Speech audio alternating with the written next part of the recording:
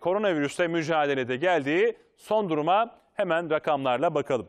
Son 24 saatte Türkiye'de 184.415 test yapıldı ve o testlerde 15.692 yeni vaka, 2.612'de yeni hasta tespit edildi.